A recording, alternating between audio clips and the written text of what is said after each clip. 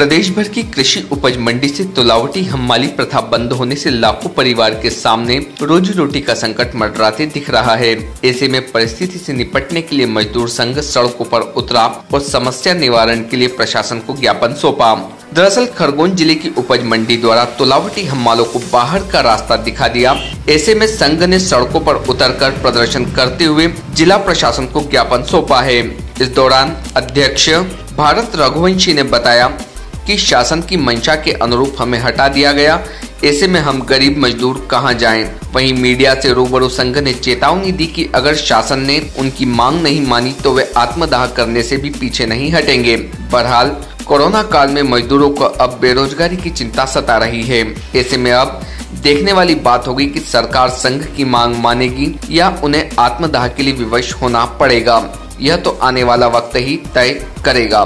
भारतीय न्यूज़ के लिए खरगोन से रजाक खान की रिपोर्ट। मंडी बोर्ड भोपाल का आदेश का हवाला देके एसडीएम महोदय और सचिव महोदय ने हमको मंडी के बाहर का रास्ता दिखा दिया गया है। हम पिछले 25-30 सालों से कार्यरत हैं कृषि उपज मंडियों में। हम शासन प्रशासन से जानना चाहते हैं कि हम जब इतने वर्षों से कार्यरत हैं तो हम अब क्या करेंगे? जो 30 वर्ष का है, जो 40 वर्ष का है, अब वो इस उम्र में कहाँ जाएँगे? चालीस चालीस पचास पचास साल से हम रोज़गार कर रहे हैं तो अब हम कहाँ जाएँगे ये पूछना है। तो ऐसा क्या सभी मंडियों में हुआ प्रदेश की? प्रदेश की सभी मंडियों में लाखों हमाल तुलावटियों को बेरोजगार बेघर कर दिया गया है।